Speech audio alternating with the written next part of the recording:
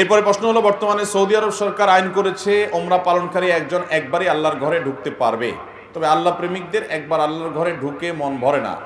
এখন ওমরা কারিগণ প্রতিদিনই এহরামের কাপড় পরে আল্লাহর মোহাব্বতে আল্লাহর ঘরের হাজরা আসওয়াদ, চুমা, হাতেমে ঢুকে দোয়া ইত্যাদি, অর্থাৎ সরকারি হুকুম অমান্য করে বারবার আল্লাহর ঘরে ঢুকতে চায়, তাতে গুণা হবে কিনা? ভাইরা আমার, সৌদি সরকার তওয়াফের জায়গা যেটা, মাতাফ অর্থাৎ তওয়াফের যে হাউস, কাবার চত্বর, ওই জায়গাটাতে এহরাম পরা অবস্থায় ঢুকতে দেয়। এর বেশি ঢুকতে দেয় না। কারণ?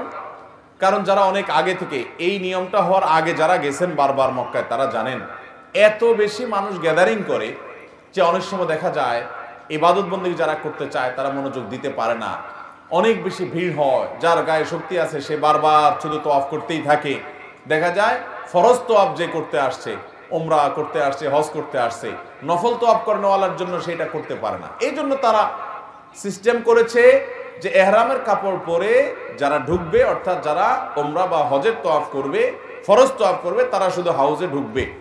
আর বাকি যারা এর বাইরে নফল তোয়াফ করবে, তারা দোতলা থেকে বা বাহির থেকে একটু দূর থেকে তোয়াফ করতে পারবে। সেই সুযোগ তারা রাখছে। এখন আমাদের দেশ থেকে যারা হাজি সাহেবরা যায়, তাদের অনেকে আছেন যে বারবার একটু নিচে নেমে তোয়াফ করতে মনে চায়, কাবার কাছাকাছি যেতে মনে চায়। তো আমি অনেককে দেখেছি যে তারা এহরামের কাপড় পরে হাজি সাহেব ওমরাকারী সেজে ভিতরে ঢুকে।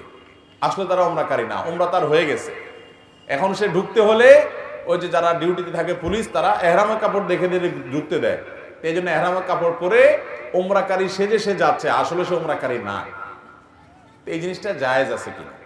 এর উত্তর হলো যে এটা এক ধরনের অসততা।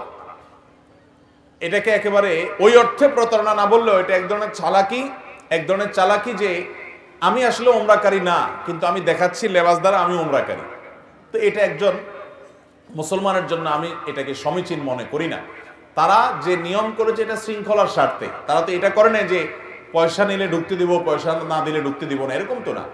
বরং এটা শৃঙ্খলার স্বার্থে ভিড় কমানোর জন্য করেছে। অতএব এটা মানাটাই আমাদের জন্য উচিত।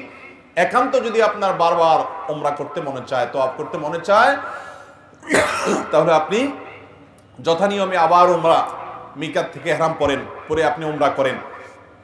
আপনি মদিনা যান, মদিনা থেকে আসার পথে আবার ওমরা করেন। সেটা জায়েজ আছে। কিন্তু এইভাবে আপনি ছল ছাত্রের আশ্রয় নেওয়া, এটাকে আমরা ব্যক্তিগতভাবে, আমি অন্তত এটাকে সঠিক কাজ মনে করি না। তারপরেও অনেকে মনে করেন যে, না, আমি তো আল্লাহর ঘর তো অফ করব, সে বাধা দেওয়ারকে একটা শৃঙ্খলা, একটা নিয়ম যদি আমরা রক্ষা না করি তাহলে কোনো জায়গায় কিন্তু আমরা ভালোভাবে কোনো সার্ভিস পাবো না। তারা যে বলে যে এদিক দিয়ে ঢুকে না, এদিক দিয়ে বাইরে। কেউ যদি বলে, আল্লাহর ঘরে আমি ঢুকবো, এ বাধা দেওয়ারকে এটা তো ভুল হবে। এটা তো আমাদের শৃঙ্খলার জন্যই করা হয়েছে। আমরা যদি সবাই যার যার মতো এরকম করতে থাকি স্বেচ্ছাচারিতা, তাহলে সেখান থেকে আমরা কেউ সার্ভিস পাবো না। বিধায় এই নিয়মগুলো, যেগুলো মানুষের কল্যাণেই করা হয়, সেগুলো অনুসরণ করা আমাদের উচিত।